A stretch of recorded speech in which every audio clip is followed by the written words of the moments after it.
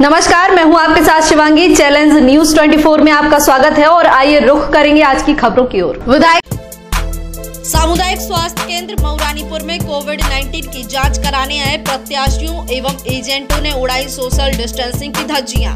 आपको बता दें कि एक और जहाँ कोरोना महामारी का कहर निरंतर जारी बना हुआ है तो वहीं आगामी 2 मई 2021 को होने वाली मतगणना को लेकर सरकार द्वारा जारी गाइडलाइन के आदेश किए गए हैं कि बिना कोविड 19 की जाँच के किसी को मतगणना स्थल में प्रवेश नहीं दिया जाएगा, जिसके चलते प्रत्याशियों व एजेंटों की सामुदायिक स्वास्थ्य केंद्र मऊरानीपुर में अच्छी खासी भीड़ देखने को मिल रही है। तो वहीं उक्त लोग सोशल डिस्टेंसिंग की धज्जियाँ उड़ाते नज़र आए। जानकारी के अनुसार मऊरानीपुर तहसील में त्रिस्तरीय पंचायत चुनाव की मतगणना 2 मई 2021 को होनी है। शासन द्वारा मतगणना स्थल के अंदर वही लोग जा सकते हैं जो कोरोना नेगेटिव हैं। इस आदेश के बाद सामुदायिक स्वास्थ्य केंद्र मऊरानीपुर में प्रत्याशी व उनके एजेंटों की भीड़ की जाँच कराने के लिए उमड़ पड़ी।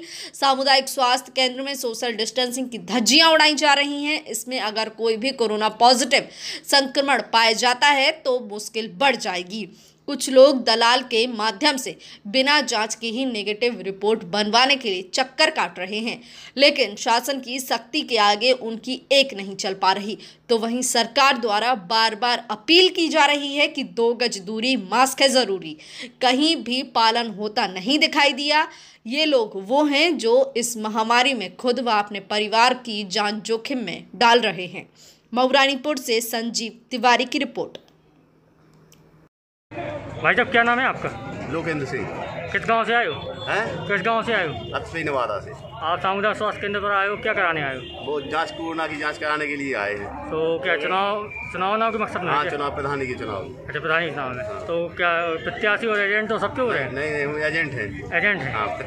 अच्छा और यहाँ पर कोई परेशानी तो नहीं है आपको? नहीं नहीं कोई परेशानी नहीं सब अच्छे से हो रहा है? ठीक। भूपेंद्र सिंह। भूपेंद्र सिंह किस गाँव से आए हो? काय के लिए आए हो अस्पताल? वो कोरोना की जाँच कराने के लिए? कोरोना की जाँच कराने के लिए? हाँ। अच्छा कितने बजे सुबह आ गए थे? नौ बजे। नौ बजे सुबह से? अभी तक आपका काम नहीं हुआ है? काम नहीं हुआ अभी तक। अच्छा तो भीड़ ज़्यादा है? हाँ क्या नाम है आपका? हीरालाल कुशवाहा ग्राम पचौड़ा हीरालाल कुशवाहा ग्राम पचौरा। तो आप अस्पताल किस लिए आए हो? इसलिए आए हैं कि यहाँ ज़्यादा भीड़ है और एक दो काउंटर और बढ़ना चाहिए। अच्छा तो आप एजेंट हैं? हाँ जी। आप कोरोना की जाँच कराने आए हैं? हाँ। या समस्या से भीड़ की है खाली? हाँ, भीड़ की है। एक तो घंटा भरना चाहिए यहाँ हाँ पे हाँ। आप कितने बजे सुबह आए थे? हम आए थे नौ बजे। नौ बजे। नौ बजे से ज़्यादा भीड़ है। नौ बजे से ज़्यादा भीड़ है।